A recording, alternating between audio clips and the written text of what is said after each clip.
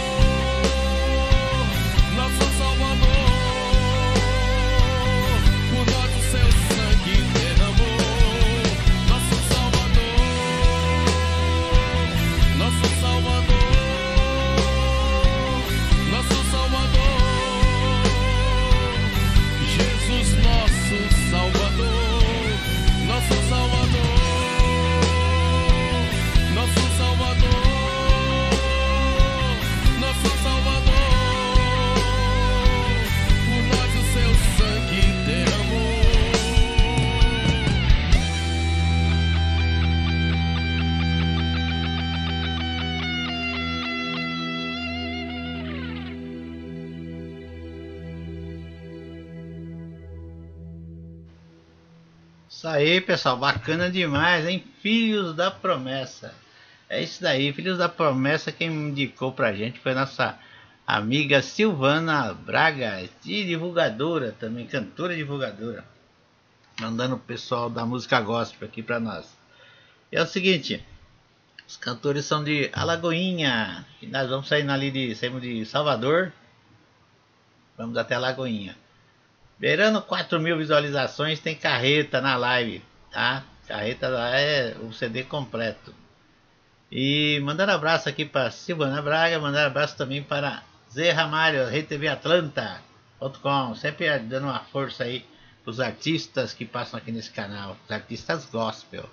E é isso aí, vamos, gostei muito, hein? Gostei muito do, do, da- do pessoal aí da banda aí, bacana demais, gostei mesmo. E é isso aí, pena que tem pouco, só 30 minutos ali de, de, de, de- de música, né? Precisava pelo menos uns 60 minutos, uns 50 minutos pra gente fazer uma live bacana, né? Tamo junto, é isso aí, vamos seguindo ali pra Lagoinha.